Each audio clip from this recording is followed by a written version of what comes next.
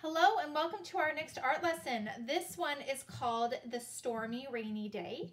So these are the following materials you're going to need in order to complete this lesson. You need to grab your watercolors. We've used them once or twice before. We're going to be using them again today. You need to have uh, uh, your paintbrush from your watercolors or the paintbrush that was given out at the beginning of the school year or if you even have a bigger paintbrush from home, that will do well for this particular lesson.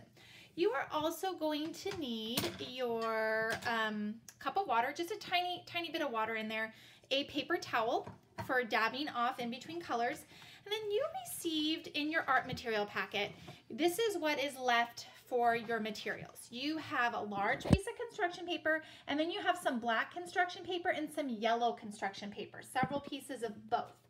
You need to take the black and the yellow and that paper clip, and you need to paper clip those back together and put them off to the side. I have mine and Sarah's together right here, so I'm gonna put ours off to the side, and all you need today is the large white piece of construction paper, just like this. All right, Sarah, did you want to um, go over what we want to keep in mind in order to have a positive art experience? Yeah. Um. So Number one, always try your best. Number two, if you get frustrated, take a deep breath, count to 10, take a deep breath, and try again. Number three, everyone's art will turn out differently. Your artwork is uniquely yours. Number four, art is not perfect, and I hope we will always have fun because if you're not, then wait a little. And then you'll, and then wait for like five minutes and then come back. Awesome. Thank you, Sarah. All right, we are going to get started.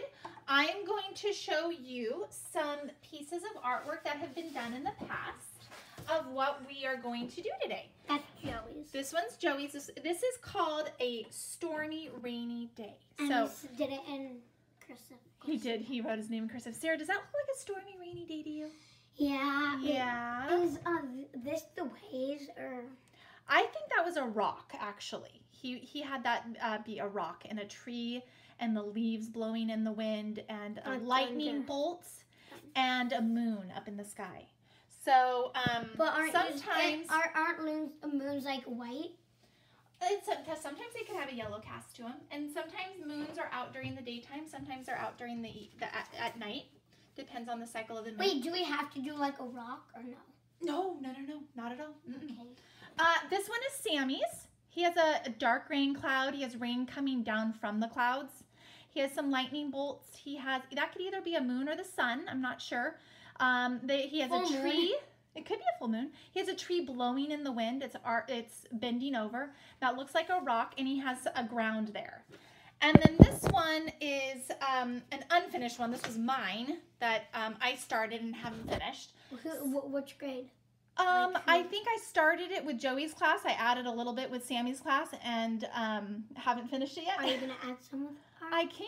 Yeah, I can. And then with that. Uh, yeah, I can. I can definitely do that. Okay, so Sarah, what do you see about the sky when you look at this one? It's a watercolor. It is definitely It's watercolor. And what do you notice about the it's colors? Dark colors, like um, like outside and sunset. You know. Like it's dark colors. Color. Why do you think we chose darker colors? Um, because it's night and yeah. You think it's because it's the night? Yeah. Well, this one is called a stormy, rainy day. Oh. So why do you think we picked dark colors for a because when it rains, day? then it starts the the clouds start getting all um, gray because they're ready to come out, and then the sky starts getting darker and darker. It does. It usually does. So do you notice how Joey here has several colors mixed together? He, you see a little bit of black and gray, some purple, some blue. Do you, and you see how it's all mixed together? Do you see that? Yeah. Oh, I have a sticker that Sarah gave me. I'll keep it on though. Okay, how about mine? There's my sticker. how about my, smelly? How, how about mine? I have some purples, I like blues. the purple. I might do a purple. I have some black and gray here. I noticed a lot of gray. Okay, let's look at Sam's. Sam decided on... Oh, he, blue and then purple and then I think that's orange or yellow. Yeah, he did a little bit of yellow, blue, and purple. Okay, so we are going to experiment with a technique. Oh, it's a watercolor technique. It's called wet on wet. And so what that is, is when you um, add a lot of water all over your white paper. So this is Sarah's white paper. We're gonna get this all soaking wet with water. And then we're going to really, really pick up, we're gonna choose three different colors. Everyone's gonna choose three colors. You're gonna pick up one color at a time and you're gonna go all over your wet I'm paper. definitely gonna do purple. And then you're gonna pick up the second color and go all over and the third color. And you can even, after you've put the watercolor on, you can even move your paper back and forth and let it run together. If Okay? it's making a big mess and grab wipies. Yes, you might need some wipies. but You might need wipies in order to avoid a big mess. So if you need to go get, grab some wipies, I like to put down a, um, a scratch paper before I start. So here's my scratch paper to cut to protect my work area. You've had Sarah, that for so many hard I, I have had this piece of scratch paper for all of the art lessons this year, for all four of you guys. Okay, so, oh, oh yeah, Sarah wants to show you her workstation. So here's Sarah, she's all ready to go. Hey Sarah, how are you? Good. Okay, awesome. There's a funny glare with that, with the, with the lighting shining down on you, sorry about that. Okay, so I want you to grab as big as a paintbrush that you can manage from your house. It could be um, the paintbrush that was handed out at school. It could be the paintbrush that was in your watercolor set. If you have a bigger one, this will make the job a little bit faster and recommend easier. That. We do recommend And that. pour a little bit of water because if it spills, it won't make too much. Yes, we only need a little bit of water. Um, as we're doing this, if you feel like you need more water, you can go back to your sink and fill it up, okay? So we are going to do a watercolor wash. Like I said, it's called a wet on wet. And what we're first gonna do is we're gonna first get the paper nice and wet. So take your water, all take over? your brush all over, yep. But here's the trick. You don't wanna do lightly. lightly. You don't want to do too much. If you do too much and you get your paper so soaking wet, you Sometimes you can't see it. you could um, get it so wet that it would tear easily. We don't want to do that. Okay. I can't even see mine. Keep going. Get the water all over. We're not adding any color yet. We're just getting our paper really nice and Wait, Wet. are we gonna have two um videos? we are. This is video one because we have to let it dry. And then video two, like we're gonna day. Yeah, like a day. That you only need a day to dry. And then video two, we're gonna be cutting out our black and yellow construction paper to make our um, stormy rainy day scene. Okay, so I've got my paper nice and wet. So I wet the paper and then I'm going to open up my paint and I'm gonna pick one color to start with. Is that good? Can I show mine? Yep, that's Oh, great. Oh, I, you know, you can do a little bit more. Do a little bit more water on the all over the edges. Try not to bend it, right? Yeah, it just- could bend really. Yeah, your paper is a little bit more fragile now that it's all wet. Now you're gonna Mommy, get I got water. some color because over here is color. That's okay. That's okay. Okay, you're gonna pick a color. So I'm gonna pick this dark blue right here. So you're gonna get it nice and wet, Oh, dark. I might do that. and then you're gonna be using your paintbrush to make big strokes and paint on the first color. Wait, do we get water? Oh, A lot of water. no, right here. Yes, absolutely. Oh. Get it out of your water, your cup, and just start going all over. Your first color, Ugh. okay? All over. And if you want, you can move your paper around. You, um, I'll show you that once I have a little bit more onto my paper. Now we just have regular, this year we're doing regular construction paper. Wait, why? Um, there, there is special watercolor paper. That just was not something that was doable this year. Um, because the COVID. No, because the reason why it wasn't really doable this year was because it's really hard to tell the difference um, immediately when you're looking at it. And I gave out other white paper, and I didn't want it to get used on the wrong lesson, so I just gave the same construction paper out for the whole this, is this so month for both lessons. Yeah, keep going, Sarah. Why do I add water? It's called watercolor. Yeah. Okay, now I'm gonna pick, I'm gonna go ahead. I might come back to my blue. I'm doing purple. So we're gonna pick a second color. Sarah says she's gonna pick purple. I'm gonna do a little bit of black. Oh. Okay. wow. And depending on if done. I want it to be black or gray, depends on how much water I put in.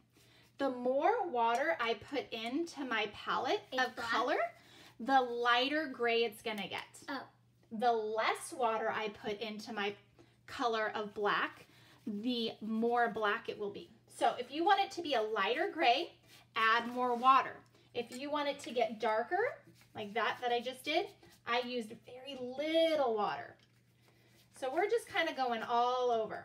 Now it's easier. Is that good, Mom? My That's blue? beautiful. Pick, Okay, so now pick a second off, color. Like, um, Yes, go ahead and rinse and um, get the color and off of your brush Uh, before you dip it into oh, your what next color. Should I do that one You choose. This is your choice. This is your creation.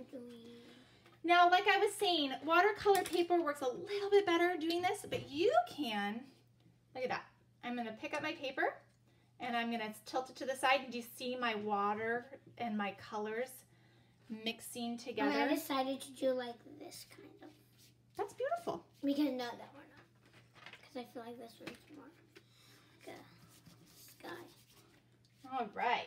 So, And I might only do like a, a little bit of this. and I might come back and I might decide to add a little bit more blue. And you can also blend it in. You can blend it together. And like I was saying, Sarah, you can even go like this with your paper. Look at That's Oh. beautiful. You can blend it together by And you going can leave like some this. white, right? Because No, we're gonna get it all, Oh. all colored. We are not gonna leave any white. Our goal why? is to go have it completely colored. Okay, and now I'm gonna go for Is that my washable? yeah, totally. Okay, good. So Sarah says, "Is this washable?" Yes. I just got Your paint uh, that was handed out by by the school, your watercolor is washable. Now I'm gonna add a third color. Sarah Sarah did blue and purple, so I'm gonna show you Sarah's right I here. got it right there. Mm-hmm, that's all right. So she's doing her blue. Gosh, the, the there we go. She's doing blue and purple. Sarah, what do you think your third color is going to be? Um, maybe, uh, maybe black or um, yeah, maybe black and turn it to gray. Okay, black and turn it to gray. Okay, I think I'm going to go ahead and go with uh, purple. Oh, we're doing different. We both did blue, and then I did purple, and then you did black, and then I'm doing black, and then you doing purple. Yeah, we're going to the same colors but different order, huh? Okay, I almost ran out of water. Oh, you may go fill up your water if you'd like. Because Okay. we definitely are using a ton of water. Um, okay, so I'm going to get my purple all over. And then what you can do going forward for the rest of this video is you can switch between the three colors that you chose and just kind of go back and forth between those three colors. We're only going to do three. And then what you're going to do is get every little piece of your paper totally painted. I don't want to see any white paper. What if there's just a No, you can grab, you can fix it, you can catch it, I should say. If you what have if it's supposed to be? Nope, nope, nope. This this one, this lesson, no white showing. Okay, so I'm going all over mine. I'm doing purple. Like I said, I might go back to adding a little bit of blue, Black. a little bit of black. I got all the way over here. I'm coming over here. And guys, um, I mostly did more um blue than purple because purple is just um I just decided to do a little bit of purple because I don't really see purple in the sky. So like I just decided to blend it a little. So paint can be dropped, it can be splattered. Uh, there's so many different ways you can put paint on a canvas or on a um, Oh, on a piece of construction paper. It's bended a little. It's okay. And uh, Sarah's noticing her paper is bending a little. Are you gonna be able to? I can flatten it, yeah. Oh, my goodness. But I will tell you that's why the watercolor paper works a little bit better. So paint can be dropped. It can be splattered on um, on the wet paper to create all different kinds of special effects on the way that you want the Okay, mood of your sky to look. Wait, so if I do less water, it turns gray? Less water it turns more black. Oh. More water turns it uh, lighter into a gray. Okay, I'm gonna go back to my blue. I'm gonna add a little bit more Oh, blue coming right. out. I'm just gonna go until I'm like, you know what, I think I'm good. That's what everybody should be doing right now. Just do it until you're satisfied with the way that your sky looks, your background sky for your stormy rainy day. Because when we come back for video number two, this totally needs to be dried. And then we're gonna be using our black and yellow construction paper and we're gonna be creating a scene of a stormy, windy day. Stormy, rainy, Oh, like windy day. And that's how we're gonna wrap up this lesson. So, If you run out, then you can pick the other color, right? If like if I run out of black. oh yeah, yeah, totally. You know what? That's I a good point. So many blacks. so if much you if you are working with a color and you're at the end of it and you're running out and you're like well you know what maybe i need to add a fourth color we're just going to be flexible with that you can totally do that okay i am all done with how i want my um, watercolor to, to go like i said you can go like this and run your colors together if you used a lot of water Again, don't use too much water. You don't want to compromise your paper and tear it. You want it to be wet, but not too wet. There is definitely a point where it gets too wet and the paper can rip. So make sure you're not doing that. You're avoiding that, okay? Um, let's see if there's anything else. I don't think there's anything else for this video. So what you're gonna need to do is you're gonna need to put this paper in a safe place to dry and then come back for video number two and we will finish it up by creating like on the windowsill, because most sun comes to that. yeah you could put it in a windowsill You just can't close the blinds. right so we're going to come back and we're going to use the the black and the yellow construction paper and we're going to use some simple cutting techniques Oh, you can ask your mom and dad to check or to make sure it's yeah. dry You know, to make sure that you didn't miss anything. oh yeah you can say mom dad did i get everything are there, is there any white showing on my canvas Yeah, if there your mom and dad have more experience. yeah maybe you didn't see it with your eyes I'm done. so here's this one well here leave it there leave it there and i'll pick up my Oh thing Oh my But gosh. see, look, Sarah, I see white right here and white up here. Wait, And I, I, see white it- down I just there. want to fill it with black. Okay, so I'm going to show you where Sarah left off. Here's mine. This Sarah's still working. She's got a couple little white areas that she's going to... Man, oh man, that glare of that light is Hey, you want me to turn it too off? much. There it is. There it is. I got it. Okay, so Sarah's going to finish up. She's going to go around and get all the little white edges. And then we'll see you back here for video number Wait. two. Mom, is mine done? Um, just about, yeah. You got a little bit of white showing there. Good, good. I'm done? It looks beautiful. I'm done, guys. All right, leave it there. We don't want it to rip. All right, we will see you for video number two. Make sure you bring your dried watercolor back. And what you need to bring Dry. Is you need to also bring back your um, black construction paper and yellow construction paper. We will see you for video number two. Make sure you rinse out, hang on one second. Make sure you rinse out your watercolors. Make sure you clean up your water bowl, wa- water cup. Your um, workstation is completely cleaned up and you leave everything nice and neat so that the adults in your house are not cleaning up after you. We will see you for video number two next time. You want to say goodbye, Sarah? Bye. Bye. We'll see you for video number two. Make sure to try it.